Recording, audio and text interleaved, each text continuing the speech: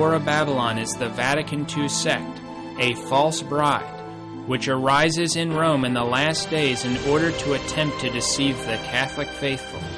In her appearance at La Salette, France, September 19, 1846, the Blessed Mother predicted, quote, Rome will lose the faith and become the seat of the Antichrist. The church will be in eclipse. In the following quote, Anti Pope Paul VI admits his new church is this false church by admitting that his church has thrown off its opposition to the world, which characterizes the true church. Paul VI General Audience, October 1, 1969.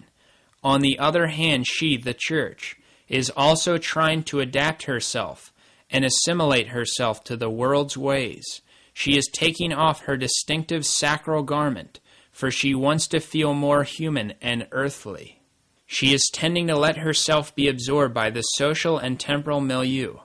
She has almost been seized by human respect at the thought that she is different in some way and obliged to have a style of thought and life which is not that of the world.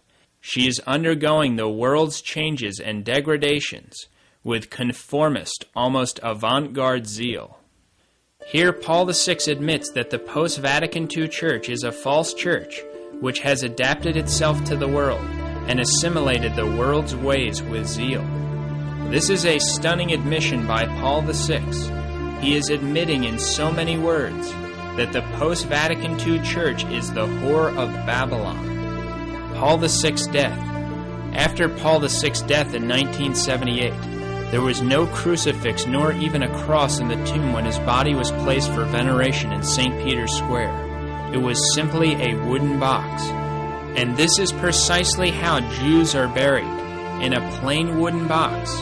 Here is a statement of a Jewish